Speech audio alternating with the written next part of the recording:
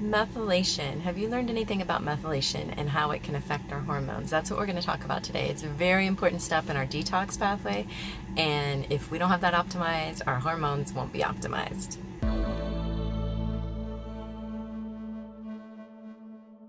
Remember to like, subscribe, and share this video out if you or someone you know wants to get off that hormone roller coaster. I'm Dr. Shelley Meyer, and I'm a functional medicine doctor, a family doctor, and a registered dietitian, and I help people get off the hormone roller coaster. So that's what we're talking about today, but we're talking about detoxification and how important that is in helping us get off the hormone roller coaster. One very important step in detoxification is methylation and that means adding a methyl group to something. So if we're not methylating properly, we can have damage to our ability to get rid of toxins, our ability to process our extra hormones, like that estrogen dominance I talk about a lot. And I'll link a video about that above. But getting, we need to get rid of excess hormones, and methylation is one of the ways we can do that. It also, methylation helps us burn our fat appropriately and turn our genes on and off. So it's very important. So how do we know if we're not methylating properly? Well, one thing you can do is you can actually test your, for one more popular kind of well-known um, way to look for methylation problems is to check your MTHFR gene. And you can do that in the US via LabCorp request through your provider, and that can tell you if you have at least uh, defects in the folate, folate part of methylation. Another way is to look at your um, MMA levels, methylmalonic acid, and that would show us if we maybe have defects in our MTR or MTRR or our B12 processing, meaning you might need more methylated B12, which is a certain type of B12. You can also look at homocysteine in your blood work, and that will tell us if you um, are building up homocysteine and if it's not going down the right pathway. If that builds up, that can cause all those problems above as well as lead to heart disease. So that's another good reason to check out your methylation to avoid problems like heart disease. Ideally, you want your homocysteine to be around um, 7 to around six, seven, maybe even up to eight. But getting above that means you might not be methylating properly. You can check B12 and folate also in regular labs.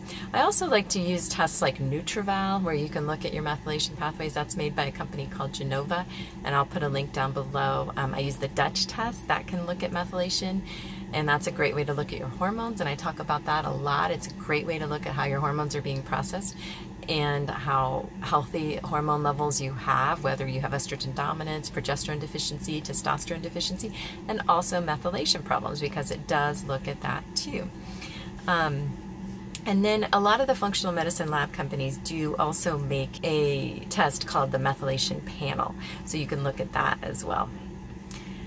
So what way, how can we support our methylation if we do have problems with methylation? Well, we might want to consider not taking supplements or foods that have folic acid, the more synthetic form of folate in them, and instead choose supplements that have actual folate in them or choose foods that are folate rich, like green leafy vegetables, avocado, um, beans, and then we can also choose other foods that support all of our detox pathways, like celery, carrots, parsley, broccoli, cauliflower, Brussels sprouts, probiotic rich foods like our fermented foods, pomegranates, berries, watercress is great for detoxification, green tea is great for detoxification, artichoke is great for detoxification detoxification. Getting a high fiber diet is really good for detoxification. So, really considering all of those foods and getting them into your diet on a regular basis will help our detox pathways and then help our um, methylation as well. Another thing we can do, especially if we do those tests and we find out we're deficient in certain methylated vitamins, is like I said, we can take a, a, com, a B complex that maybe has methyl um, folate in it and methyl B12 in it you also want to avoid synthetic B12 if you have methylation problems. So that would be avoiding multivitamins or energy drinks or protein drinks or whatever that have cyanocobalamin in them, cyano B12 basically, and choose instead of instead of that hydroxy or methyl B12.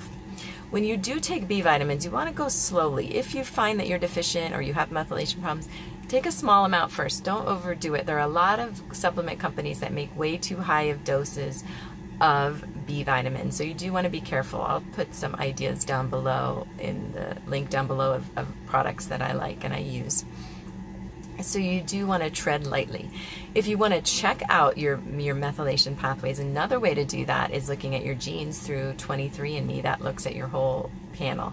In my practice, I take that information and run it through another database where it becomes more interpretable information a provider that works with genes can give you because 23andMe doesn't give you that full report, but you can run your 23andMe results through other programs. There's also um, one called Nutrition Genome that I use a lot, and I'll link that down below um, that really helps to interpret your genes. And it's actually an actual gene test and a report. So it's not 23andMe. It's you, you run that gene test and it gives you all kinds of information about the right foods to eat for your genes and helps with weight loss and methylation as well.